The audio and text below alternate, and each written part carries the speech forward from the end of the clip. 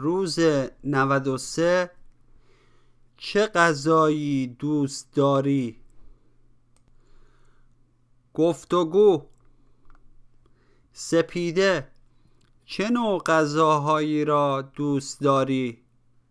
شهداد من عاشق غذاهای تند هستم مثل غذاهای هندی من اصلا غذای تند نمی‌توانم بخورم تا حالا غذاهای هندی را امتحان کردی؟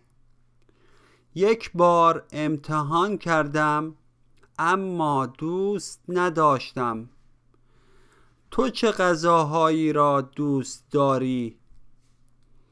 من غذاهای ایرانی را خیلی دوست دارم کدام غذای ایرانی را بیشتر دوست داری؟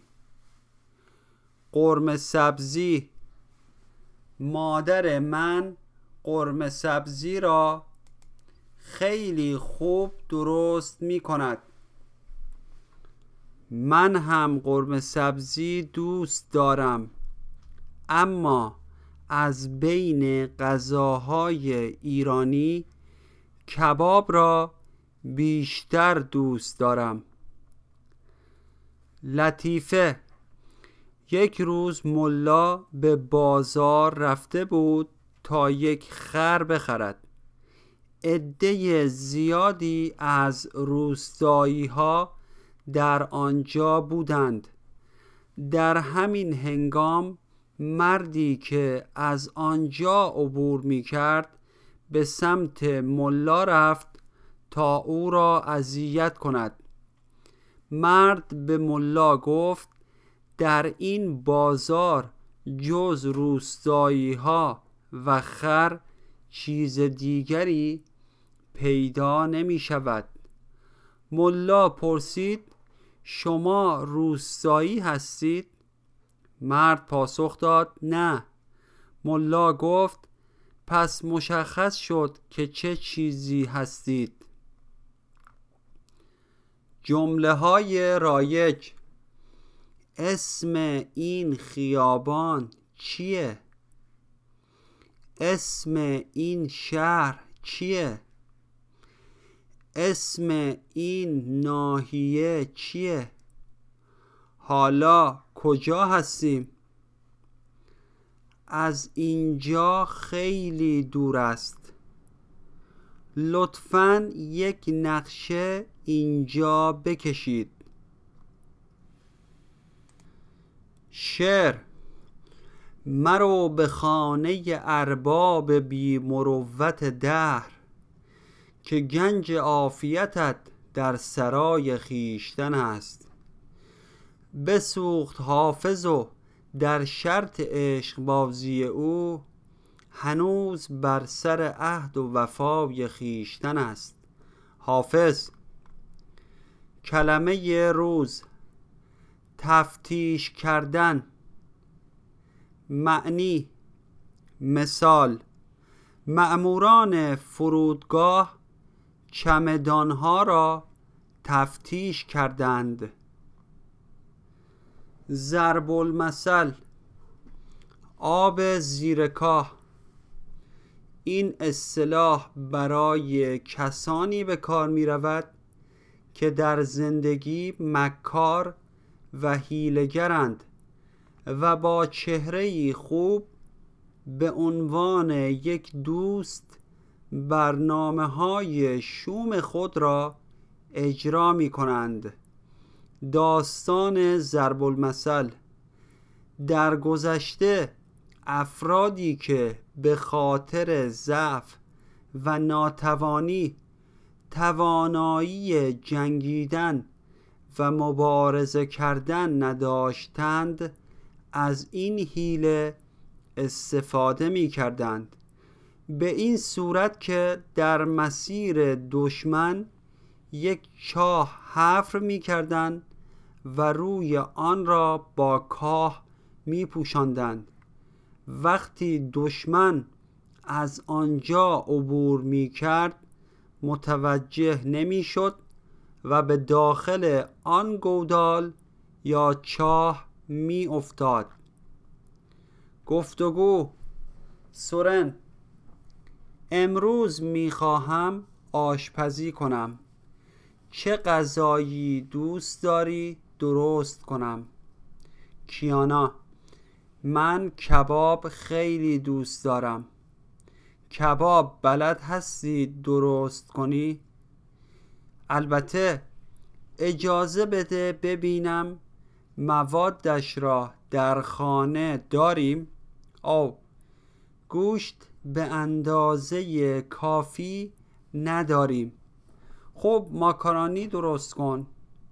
من عاشق ماکارانی هستم. ماکارانی هم نداریم. به نظرم بهتر است اول برویم خرید. اصطلاح روز از آن بیدها نیست که با این بادها بلرزد.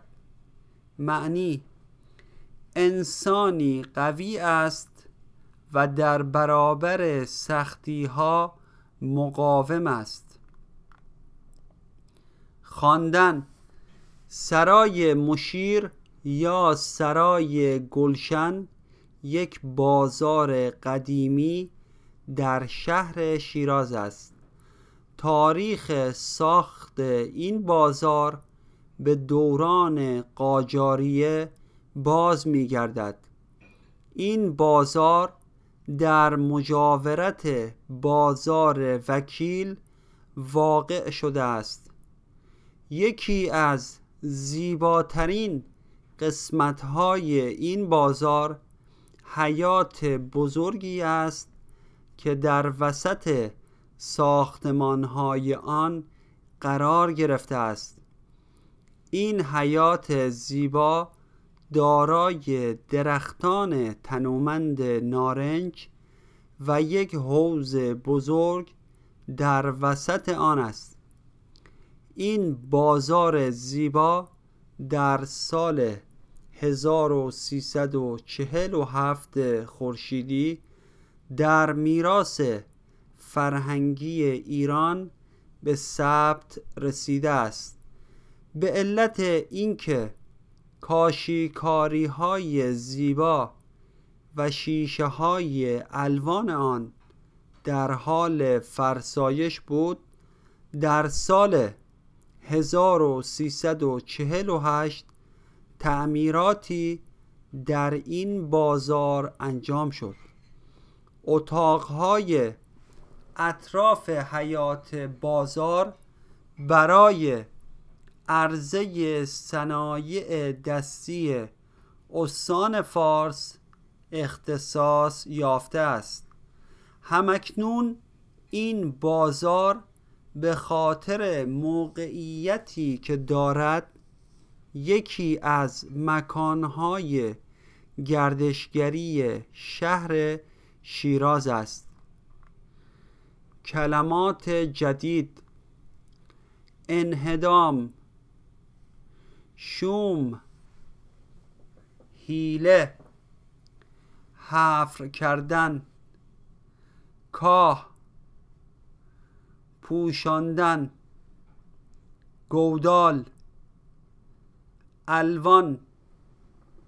به علت اینکه مجاورت تنومند وعده غذایی نارنج میراث فرهنگی عرضه خوشتعم